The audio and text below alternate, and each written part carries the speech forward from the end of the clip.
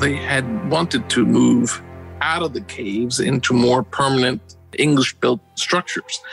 The caves were only a temporary place where the first settlers arrived in. It's the year 1681. Followers of William Penn have arrived in the New World from England looking for religious freedom. Once here on the banks of the Delaware River, they create homes out of the earth itself, in caves. The settlers, their inclination was to build on the waterfront, and that's what they did. Historian Harry Kyriakodis describes those early days. The future Americans settled in these holes which had been already there by the river for the possible catching of muskrats by the Indians. This small community, started in those caves, will very shortly become the city of Philadelphia, the first capital of the United States. The Quakers eventually moved out, but the caves continued to be used for many decades as the city grew. They became bars and brothels. While others became part of the basements of houses along Front Street, and those houses or those businesses still exist along one certain area of Front Street. That's part of Old City Philadelphia. And the caves are still there, deep under the homes of the busiest parts of Philadelphia, very close to where Highway 95 intersects with the Benjamin Franklin Bridge. Kyriakodis has been in one. It looked like a basement, but you know from descending into it that you're going deeper into Earth than the outside area that you came from. Going deeper into the earth, that instinct has played a part in human history in ways that we can't always see, but it is part of our collective history, our present, and perhaps our future. Where you may be standing at any given time is only part of the story. There is much, much more down below. I'm Davar Ardalan, and this is Overheard at National Geographic, a show where we eavesdrop on the wild conversations we have here at Nat Geo and follow them to the edges of our big, weird, beautiful world. And today we're going underground. We'll get to know the modern day versions of underland dwellers in Hatch Rock, Utah, Coober Pedy, Australia, and Sacromonte, Spain. Communities who choose to live in caves, away from daylight, in the depths of the earth. More after the break.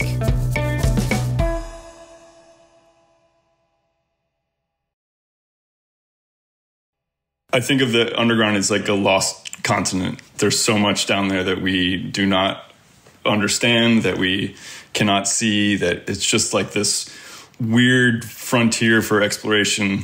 Weird in that it's really close to where we're sitting right now, and yet it's completely alien. William Hunt has been exploring the lost continent of the underground since he was a teenager. He's a cave expert and author who thinks about what is below our feet constantly. As far as what is directly beneath us right now, Anywhere you go in the world, there are these nests of infrastructure that we never think about. There are ancient buried cities, archaeological sites. There are caves that may be totally unexplored. There are beneath that giant tectonic plates that are grinding up against each other. And then way down beneath that is the core of the earth, which is basically like a black box as far as we're concerned at this point. We've barely made a dent in our understanding of the caves and tunnels that make up our Earth's underground. Hunt says by some estimates, half of the world's caves are unexplored, and yet our fascination runs deep. Caves are sort of like the hidden aspect of existence. It's the hidden aspect of existence that Chilean photographer and National Geographic explorer Tamara Merino set out to find underground. The images she brought to the surface show us how whole communities live their lives in a seemingly unconventional fashion. They venture into the darkness every day for very different reasons, reasons which nonetheless connect them to our prehistoric and even pre human relationship with caves. The first time I went to the dark room and I saw how my images start appearing. You know, these these grain grains uh, that start like appearing. This photograph. I thought this was a magical moment, and I, I wanted to do this for the rest of my life. Tamara Merino uses photography to share hidden stories, including her powerful images of life underground. Her work has taken her to the Utah desert, the Australian outback, and Andalusia, Spain, all in the name of helping us imagine what we cannot see. In Paris in the 1860s, it was a photographer who captured the city's imagination of the now infamous subterranean Parisian world. So, Felix Nadar, who just went by Nadar, was a, a sort of fixture in the sort of bohemian art world of Paris in the 19th century. Um, he was extremely flamboyant, and in 1861, he invented a battery operated light, which is the first of its kind in photography. It allowed a photographer to take pictures without natural light and to show off his magic lantern, as he called it. He took it into the darkest place he could find, which is the catacombs and sewers of Paris, and spent several months taking photographs of the hidden underside of the city. Nadar and his crew lugged heavy equipment down below. Each exposure took 18 minutes. When the photographs were published, they had this really profound impact on the imagination of Parisians. People who knew that their city had these underground systems beneath it, they knew about the catacombs, they knew that the sewers were down there. They were mostly kind of dark, threatening, unknown spaces. Nadar's photographs illuminated a part of the city that Parisians couldn't see. They saw these images and they became fascinated and they wanted to go visit these places. People would, you know, dress up in their Sunday's finest and go wandering through these dark tunnels. It became sort of a fad on a weekend night to pop open a manhole and climb down into the sewer system and sort of walk in the footsteps of Nadar. And he's described as this sort of mythological hero who has traveled to the land of the dead and reemerged on the surface with a new kind of power. That power of going down into a cave, into the belly of the earth, and coming back to tell the tale is the most powerful story of the underground and it goes all the way back to the beginning of human history. If you look at the mythological systems of cultures all over the world, it's universal. There's always an underworld. Even with cultures that don't have physical caves around them, there is an underworld. Ancient cave dwellings can be found all over the world, in places like Matmata, Tunisia, Kandovan, Iran, and inside the high cliffs of Mesa Verde, in what is now the southwestern corner of Colorado. And today, some 30 million people currently live in caves in China, burrowing inside the yellow, porous soil of the Shanxi province. President Xi Jinping reportedly lived in one of these caves for seven years as a young man. His parents were exiled there during the Cultural Revolution. A red dirt road is the only approach to Hatch Rock. In Tamara's aerial photo, the road splits into a V, framing a huge red rock that rises nearly 500 feet out of the landscape. I arrived to this massive rock in the middle of the desert, and this was like a, it has the crescent shape of the moon, and it was amazing. Tucked into the base of Hatch Rock is Rockland Ranch, a community of modern cave dwellers in eastern Utah. These caves are built in the massive red sandstone formation. So the houses were built by blasting dynamite into the sandstone cliff and then covering the cave walls to create modern homes with running water, electricity, internet access. The community who has lived here since the 1970s are fundamentalist Mormons. They refer to this place simply as the Rock. Enoch Foster is the son of the Rock's original founder. Self sufficiency is a basic tenet of this polygamous community. And so, over the last 15, 17 years, we've built 15 homes and cabins and solar systems and put in wells and put in water systems and water lines and garden lines. And they live off the grid with their own water well and are powered by solar energy. This helps them stay under the radar in a state that outlaws bigamy and to avoid the Mormon mainstream who shuns it. Basically, we want to live as naturally as we can and, living in the rock helps us be able to do that. Reduces our pollution, reduces you know, what we need to, to sustain life. The images that Tamara captured at the rock reflect a driving reason people have sought shelter in caves for centuries to escape the apocalypse. Enoch Foster is carrying out his father's vision, which was to prepare for and survive what they believe will be the end of days. He believed in a time when the earth was going to change to to to a different way of being. And he always believed that there would be you know wars and troubles come before that. So to come and begin building a community that he hoped would last into the far future. There is a biblical passage that states and they shall go into the holes of the rocks and into the caves of the earth the rock is a very literal interpretation of that mandate. When Tamara arrived, one family was in the midst of carrying it out. So that first day, I helped them build the cave they were building, and it was really fascinating to see them how they were turning this cave into a home. It was amazing. And there were still no light bulbs on the roof, so the lighting was coming from the flashlights from their hands or from their heads. And it was really like watching all these people working collectively felt like being inside an anthill. This act of creating space underground has compelled whole cultures to seek shelter in this fashion.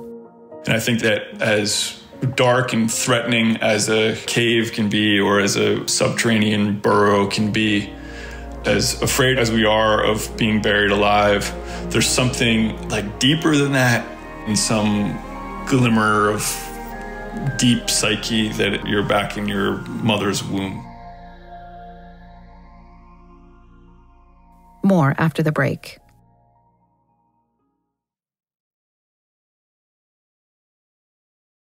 Across the globe in the southern Australian outback, modern cave dwellers have been burrowing underground for an entirely different reason mining.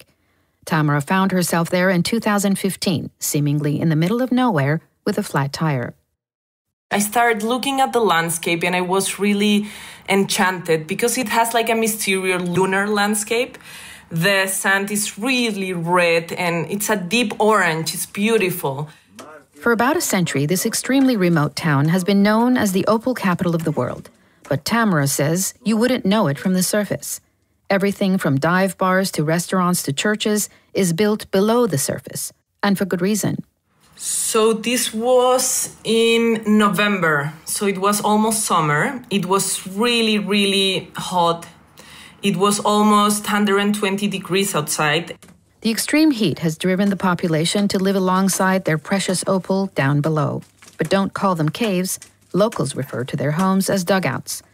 Tamara got her flat tire fixed, but she decided to stay and get to know some of the residents, including opal miner Martin Fagater. He invited Tamara to see the dugout that he calls home. See, here was something he did a shot as well. When he opened the door, he gave me a head torch to walk through the tunnels of his underground house. And that was an amazing moment. You know, I remember thinking, if I need a head torch to walk around his town, I mean, I'm gonna be walking in dark tunnels, you know? The dugouts in Coober Pedy hold steady at around 75 degrees Fahrenheit. Tamara captured the sense of coolness inside Gabrielle Goulain's home in a photograph of her kitchen. A room with raw cave walls, a piece of muslin is seen covering a hole in the ceiling. Tamara stayed here with Gabby for a few nights. Every morning when I woke up, my blanket was covered with dust and small pieces of soil that had fallen from the ceiling during the night. And I remember feeling that the earth was alive, you know, it was constantly changing. Tamara got to see just how much that underground was changing when she was invited to visit one of the opal mines. Uh, we went down 15 meters sitting on an electric winch, and it was a hole about one meter wide. And for a moment, this 45 seconds journey down seems like an eternity. This was the first time I was going down so deep in the earth. And when I was going down, little stones fell off while I was going down the shaft down in the mine was completely dark. And when we were down, they have just some spotlights on the entrance, and walking around with a torch on your hand is like going in a labyrinth that doesn't lead you anywhere, you know? The farther down she went, the more deeply she felt connected with one of the most ancient human relationships to the earth. One of the oldest ways we've interacted with the underground is to go into the earth to extract valuable minerals from beneath the surface. It has always been a spiritual act, more specifically, a spiritually anxious act. Across the world and throughout history, you find stories of traditional cultures going underground to mine minerals and having to appease a sort of a mine spirit, like an earth spirit that protects the mine. The opal mines in Coober Pedy still embody some of that ancient anxiety. Opal is there somewhere, they just have to find it. This stone is going to change their lives. They stay and live in the mine because they are afraid of somebody else coming and stealing their opal. The opal fever, as they call it, overrides the dangers of mining when there is always the risk of collapse or underground flooding, and the chances of discovering opal of value are unpredictable at best. If you can find it, it's needle in a haystack stuff. But we came across the most beautiful opal. I went with the light and around the corner, and this thing in the wall just was like a third eye, right? It was orange and it was beautiful. And it was just glittering with sugared opal, bright orange. Nature creates anything you can imagine. Tamara says for Martin Fageder, the value of living underground goes well beyond the elusive opal. It's a way of life. The tradition of underground living in Australia has been prized for millennia by Aboriginal cultures, stretching back as far as 46,000 years, the Juukan Gorge Caves in the Pilbara region. These rock shelters were decimated in 2020 by Rio Tinto, a mining conglomerate in search of iron ore. They have been ordered to restore the site. The scorching temperatures in Utah and Australia are undeniably part of the reason these underground dwellings are so eminently practical. So practical, in fact, that William Hunt believes a strong case can be made for a future where caves will provide a refuge from the ever increasing impact of climate change.